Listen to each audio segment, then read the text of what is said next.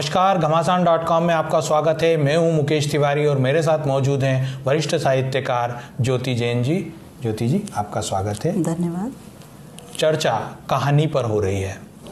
क्या कहानियाँ आज भी उसी तरह लिखी जा रही हैं पढ़ी जा रही हैं उतनी लोकप्रिय हैं? जी हाँ बिल्कुल। कहानियाँ आज के दौर में भी आधुनिक दौर में भी उतनी ही लिखी और पढ़ी जा रही हैं और प्रासंगिक भी भी हैं। और मुझे लगता है कि एक समाज में जो एक मिथ है कि आजकल न लिखी जा रही है कहानियाँ न पढ़ी जा रही है मैं इससे सहमत नहीं हूँ। मुझे लगता है कि लेखक वर्ग भी है और पाठक वर्ग भी है। एक दौर था मुंशी प्रेमचंद देश के सबसे बड़े कहानीकार फणीश्वर नाथ रेणु। तो आज उस स्तर की कहानियाँ आज के कहानीकार लिख पा रहे हैं? देखिए मुकेश जी जो नाम आपने लिए हैं, मुंशी प्रेमचंद जी हैं या रेणु जी हैं, उन्हें तो अभी छू पाना थोड़ा सा संभव नहीं लगता है। दूसरी चीज़ ये है कि उसके बाद के जो दौर के लेखक, लेखिकाएँ हैं, उन्होंने भी काफ़ी अच्छा लिखा है। तो यहाँ हम एक तुलना नहीं की जा सकती है, लेकिन उसके बाद के दौर में भी मन्नू भंडारी जी वाला जो दौर था मोहन राकेश हैं इन लोगों की जो रचनाएँ हैं, वो भी हम एक स्तर की रचनाएँ कह सकते हैं। इसके अलावा जो आधुनिक युग के भी जो लेखक और लेखिकाएँ हैं, मैं, मुझे अभी अरुणा शास्त्री का नाम याद आ रहा है, जिनकी कहानियाँ बहुत उम्दा और दिल को छू लेने वाली है। तो ये ठीक है कि मुंशी प्रेमचंद मुंशी प्रेमचंद थे वो एक कालजयी रचनाकार रहे हैं लेकिन आज भी जो लेखक लेखिकाएँ हैं वो अच्छा लिख रहे हैं निश्चित रूप से। वक्त का बदलाव है। लघु कथाएँ बहुत पसंद की जाने लगी हैं।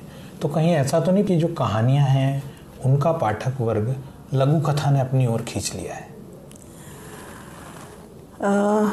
देखिए लघु कथा और कहानी को मैं थोड़ा सा इस तरह से समझती हूँ कि थोड़ा सा और पहले जाएँ तो जो उपन्यास है वो टेस्ट मैच है आजकल के क्या है लोगों को क्रिकेट की भाषा बहुत जल्दी समझ में आती है। तो उपन्यास जो है वो टेस्ट मैच है अ, कहानी जो है वो वनडे मैच हो गई और लघु कथा है वो ट्वेंटी ट्वेंटी हो गई। तो ट्वेंटी ट्वेंटी जो है वो बड़ा लोकप्रिय है आज के दौर में।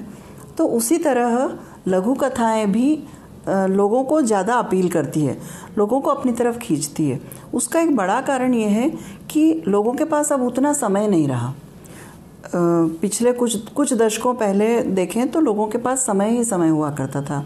आजकल लोगों के पास समय का अभाव है।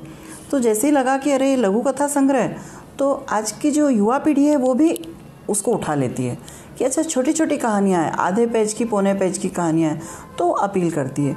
लेकिन जो लोग कहानी को पसंद करते हैं जो कहानी के शिल्प में ही डूबना चाहते हैं तो वो वो कहानी ही पढ़ेंगे।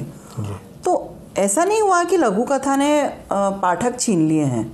कहानी के पाठक अपनी जगह हैं लघु कथाओं के पाठक अपनी जगह हैं।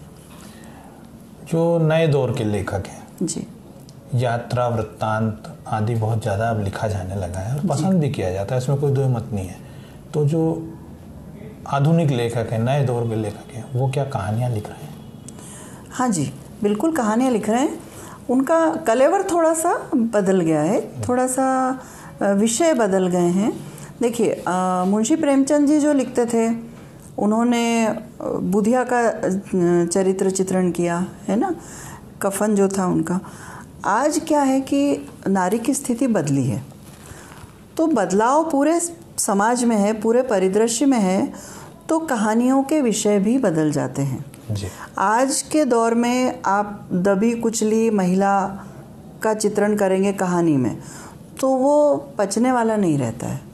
क्योंकि आज महिलाएँ स्वाभिमानी हैं आत्मनिर्भर हैं तो कहानियों के विषय भी बदल गए हैं। लेकिन उनके लेखन में रस है उनके लेखन में शिल्प है और वो कहानियाँ भी उतनी ही पाठकों को अपनी तरफ़ आकर्षित करती है। तो ये थी वरिष्ठ साहित्यकार ज्योति जैन जी। इनका मानना है कि कहानी अपनी जगह कायम है और कहानी की जो जगह है साहित्य में, उसकी जगह कोई दूसरा नहीं ले पाया है।